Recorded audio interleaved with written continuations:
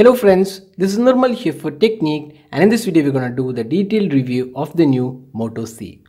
So the Moto C is an entry level or budget offering from Motorola and this has been announced uh, a week back in India and this is price 6299 and uh, this uh, is available both online as well as offline. So this is the first of uh, Motorola devices to be available offline so going by the specs of this device so this phone comes uh, with a 5 inch fwvga display it's uh, an 854 by 480 pixel uh, fwvga display and it is powered by a mediatek mt6737m uh, quad core chipset coupled with 1 gigabyte ram and this is coupled with 16 gigabyte storage on the camera front, it has a 5 megapixel rear camera, LED flash, a front facing 2 megapixel camera again with an LED flash and 2350 mAh battery. So going by the specification, Moto C isn't a great device to buy uh, except for the software which is the latest version that's Android 7.0. So how good the Moto C is for the price segment? So let's analyze in this detailed review.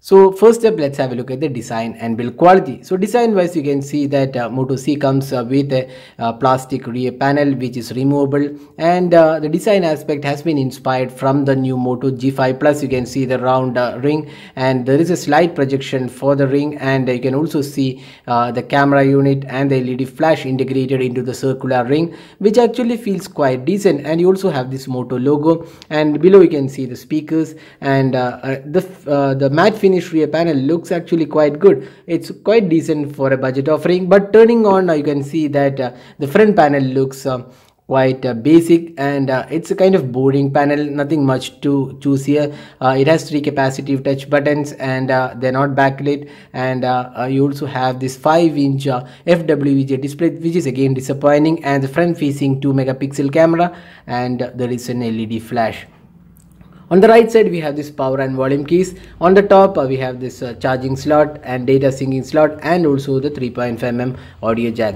So the rear panel is removable and you have this dual SIM card and uh, SD card support. So that was the design and build quality. So it's a kind of an average design and build quality looks quite decent.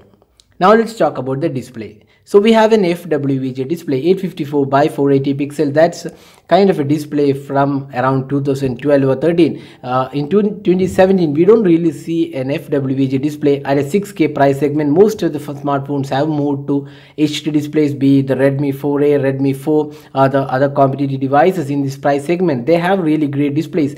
And here we have an FWVGA display and the panel looks uh, pretty much uh, average or disappointing. You can see the viewing angles are horrible. The color uh, uh, reproduction is uh, washed out and doesn't look really great. The touch response feels quite decent, but overall the display feels definitely disappointing for the price segment.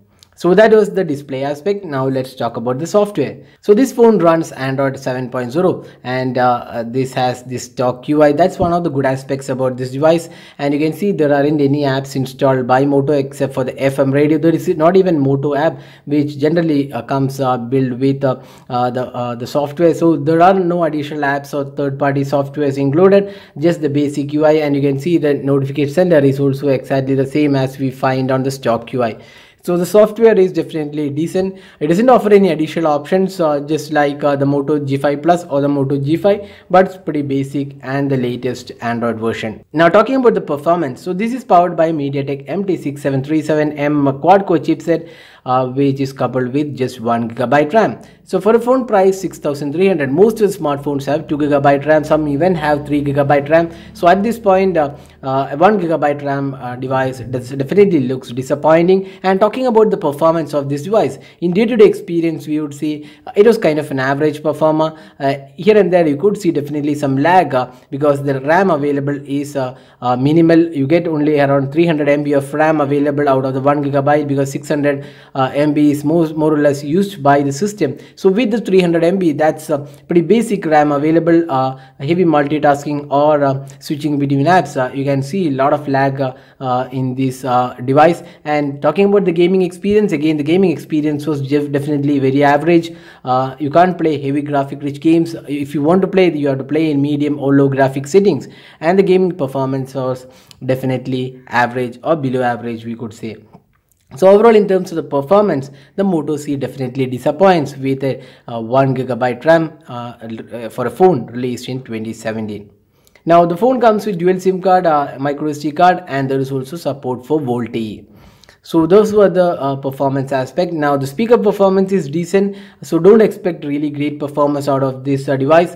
So it's just an average performer in almost all aspects now talking about the camera, so that's again a disappointing aspect. We have a 5 megapixel shooter, LED flash, front facing uh, 2 megapixel camera with LED flash. Now the camera interface is pretty basic. You might be seeing uh, this interface. It has video recording, panorama and photo recording, photo uh, abilities. And we have 720p uh, recording. That's the maximum available on this uh, device now uh, the, here are some of the samples taken with the, the moto c and you can see that uh, the images are pretty much basic and the clarity looks uh, pretty uh, poor. The color quality was also not that great washed out images the clarity is again disappointing and uh, in low light experience it was completely filled with noise the front facing shooter was again disappointing just that it does have uh, an LED flash uh, helps in taking uh, photos in low light. But again uh, the low light image captures using the front facing camera was also noisy. So the camera on the Moto C was definitely disappointing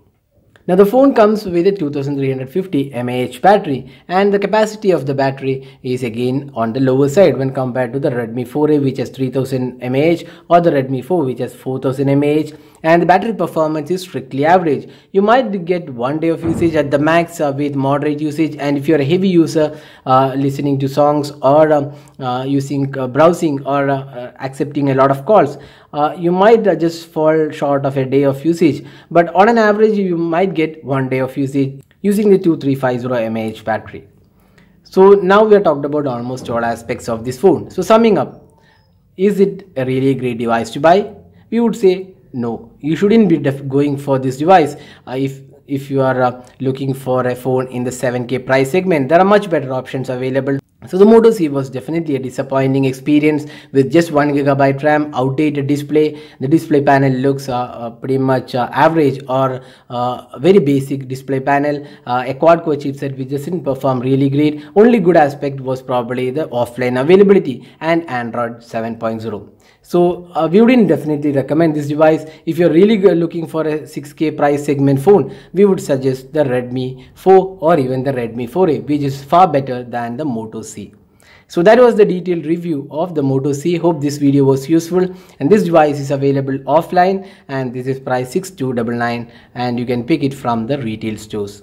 So that's all guys. Thanks for watching. Hope to see you in our next video. Have a great day.